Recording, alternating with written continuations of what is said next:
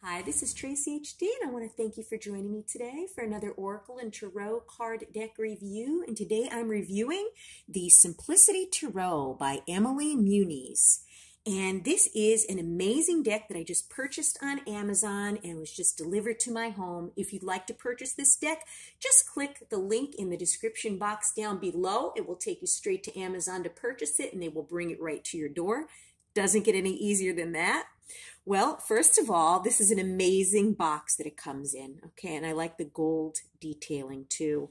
Very sturdy, so it's going to protect your cards. And you know the box is very important to me, so this is a winner. And let's see what is in the box here. Okay.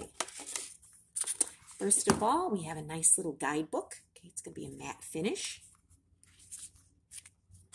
And inside the guidebook, we're going to have about the Simplicity Tarot. Okay. Simple tips to prepare for a reading. Okay. Uh, cleansing your cards, setting things up, creating your tarot reading atmosphere, um, care for your Simplicity Tarot deck, clearing the deck, storing the deck, connecting with the deck. And then it's going to go into some card spreads. Okay. And then it's going to go into, let's see, there's quite a bit here. Okay, let's go back. And it's going to go into the cards, okay? Now, there will not be any pictures, okay, of the cards. It's just going to tell you the wording on the cards, the number, and then a brief paragraph with some upright keywords and some reversal keywords. And it's going to go through all 78 cards of the deck, okay? Major Arcana, Minor Arcana. Okay. Very nice guidebook. And then there's some more spreads in the back. And then about the author and some helpful links. So there you have it. A nice little guidebook. Not too much information, not too little. I would say it's about right. And then let's take a look at the cards. And let me just remove this uh, plastic from this deck. Okay.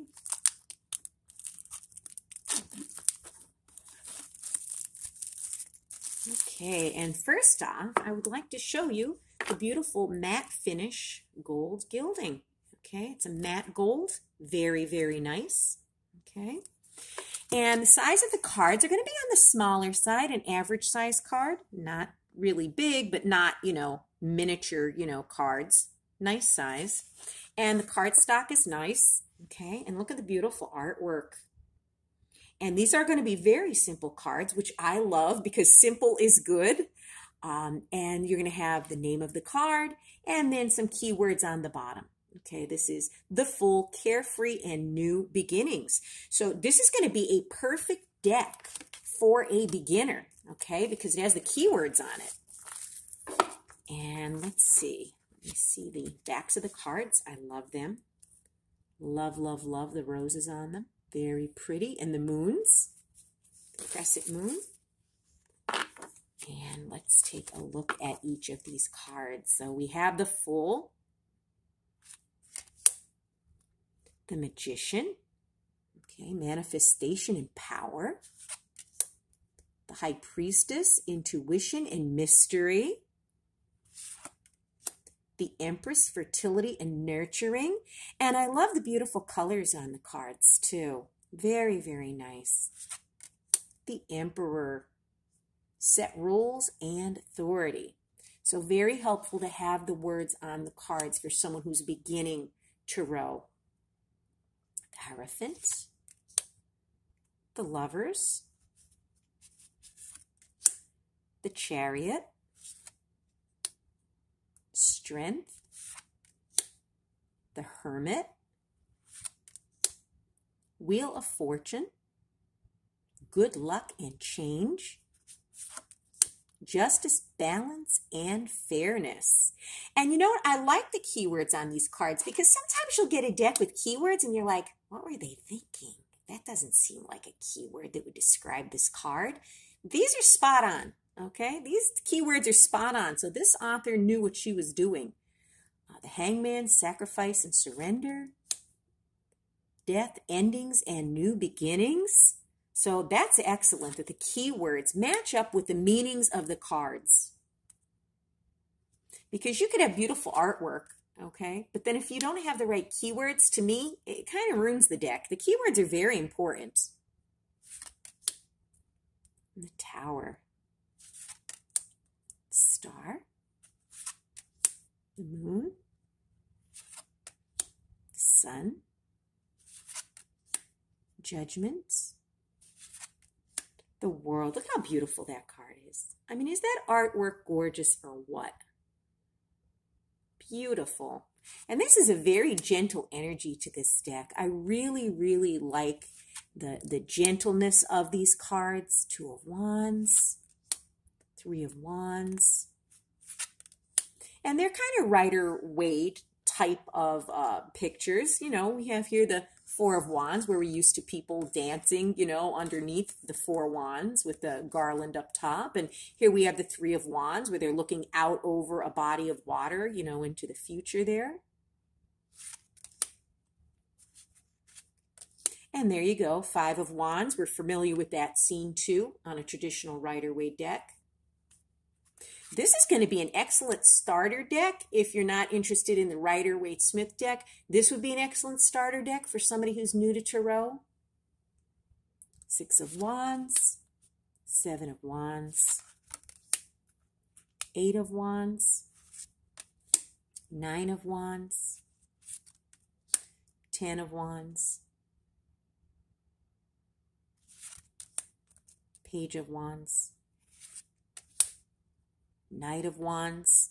And I like it when the knights are on the horses. I just do. but that's just me. And I like when the king and queen is sitting on the throne. And you're going to get that with this deck. We have the queen of wands sitting on her throne with her cat. We have the king of wands, you know, in his red robe. Red to me is the color of passion. Okay. And he's very passionate and fiery. and he's on his throne. And then we have a beautiful Ace of Cups. Look at how gorgeous that is. Two of Cups. Two people in union. Three of Cups. Okay, very, very traditional looking. Four of Cups. You could see the boredom on his face. Five of Cups, you could see the sorrow on her face. I like that the facial expressions match up with what the card is trying to convey. Six of Cups, Seven of Cups, Eight of Cups and the walking away, Nine of Cups, Ten of Cups, Page of Cups, Knight of Cups, Queen of Cups, and the King of Cups. Then we go into the swords. We got the Ace of Swords. That's an amazing Ace of Swords uh, picture here on the card. Very beautiful. Two of Swords. I love the roses as details. That gives the artwork a little something. Look at that. Three of Swords. That's another beautiful card. Very nice. Heartbreak and despair. That's all you need to know. Okay, beautiful keywords. Four of Swords, Five of Swords, Six of Swords, Seven of Swords, Eight of Swords, Nine of Swords, Anxiety and Stress. Yes, another good card, Nine of Swords, with the depiction here of the person sitting up in bed, stressed out, sleepless nights. Ten of Swords, with the swords in the back. I've seen so many vari- variations of the Ten of Swords where there was one where the person was standing, there were a few swords in his back or in his backpack. It wasn't in his back, it was like in a bag he was carrying. And then there were swords on the ground. And to me, that's not like a backstabbing card. This is a backstabbing card. This to me conveys a lot. Okay, this tells it all.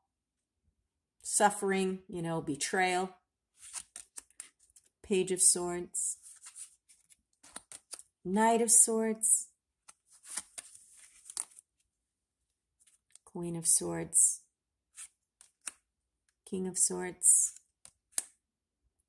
Ace of Coins, Two of Coins, Three of Coins, Four of Coins. Now, we're used to seeing somebody sitting down, you know, holding on to the coins. I mean, I guess he's holding on to these. Okay, greed and control. Okay. Five of coins, six of coins, seven of coins, eight of coins, nine of coins, ten of coins, page of coins, knight of coins, queen of coins, king of coins.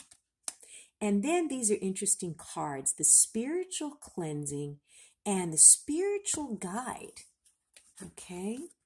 And um, those cards, let me see if I could find in the book here something about those because those really pique my interest. Here we are. Okay. Spiritual cleansing. Okay. And it says,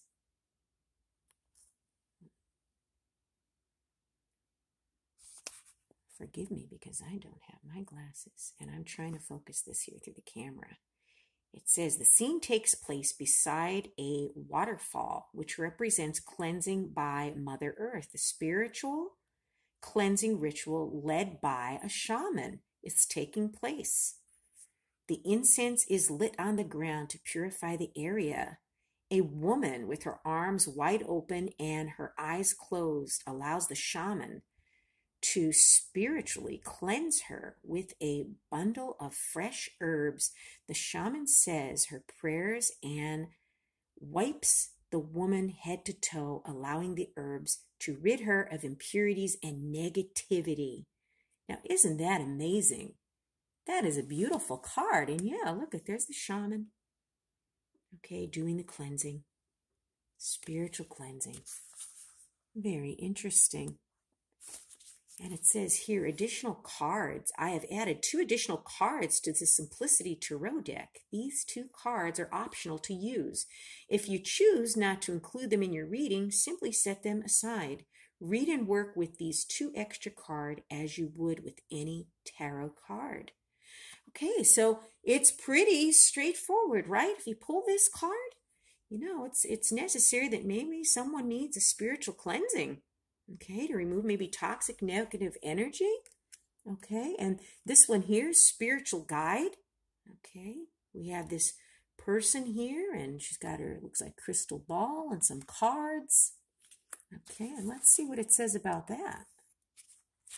Wow, there's quite a bit of information, even the reversed meaning of that spiritual cleansing, in case it comes out reversed. But Spiritual uh, guide says some believe that each person has a spirit guide who guides them throughout life. Each guide is believed to be different, varying in form, communication, connection, and in purpose. We enter a room and see a dedicated place that is set up to connect with a person's personal spirit guide. On the center of the table, a beautiful dollar statue is placed to represent their spirit guide. Candles are lit to create ambiance and set a focal point for connection. The table is decorated with flowers and sweet aroma incense is lit. Things that their guide is fond of, such as a crystal ball, tarot divination items, and musical instruments surround the table to draw attention to and collect closer and connect closer to their guide. Upright concepts. Have you felt a spiritual nudge lately? As if your guides or someone is trying to reach out to you. This can be in the form of a recent dream, a vision, or a sensation. If you want to connect more to the spiritual side of things, the spiritual guide card can mean that one's personal spirit guides are trying to reach out. They come to relate positive messages to you. So, yeah, very, very interesting. And uh, let's see back here. What did it say about the spiritual cleansing?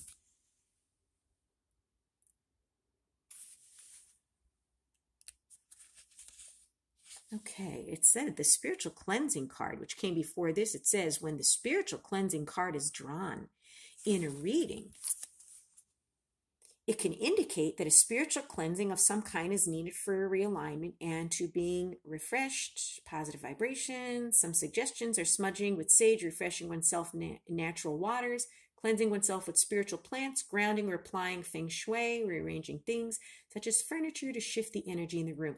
Yes, and that's exactly what I got intuitively from that card, that it was very cut and dry, very straightforward, that, you know, maybe there is a spiritual cleansing that needs to be done, or smudging, burning sage, whatever it is that you need to do to clear your energy. And the other one was connecting with your guides. Very, very simple that there may be a message that your guides want to relay to you. So this is a very beautiful deck. I'll tell you, I'm satisfied with it in every way. I think the, the box is great, you know, the nice sturdy box that it came in. Uh, beautiful guide book, okay? Very nice, well-made guidebook. I like the extra touch of the uh, matte gold gilding on it. I like the sides of the car size of the cards. I like the card stock. Let me see how these are to shuffle. Very easy to shuffle. Okay, these are excellent for a beginner because of those keywords on the cards that are definitely related to the card's meaning. And like I said before, if the keywords are not related to that card, it really gets me because keywords are supposed to help you learn the meaning of the cards. And if the keywords aren't correct, I don't know if you're really learning the meaning of the card. Um, so this takes away all the confusion because you know this is accurate. Uh, hats off to Emilie Muniz for producing such a beautiful deck. This is a wonderful deck. And I'll tell you, it was under $20. And to have such a beautiful deck produced with such great quality artwork, boxing, beautiful book, everything, um, this is a, good value. It, it really is a lot of bang for your buck here. So if you're interested in picking up this tarot deck, um, you can do so by clicking the link down below in the description box. It'll take you right to Amazon so you can purchase it. Very, very satisfied with my purchase, and this will be a welcome addition to my ever growing Tarot collection. And if you have enjoyed this review, I would appreciate it if you would hit that like button for me to get this channel more exposure so people could see these beautiful reviews as well as the card readings on this channel. Uh, share this video with someone who may be interested in this deck and above all subscribe because I will be back with more.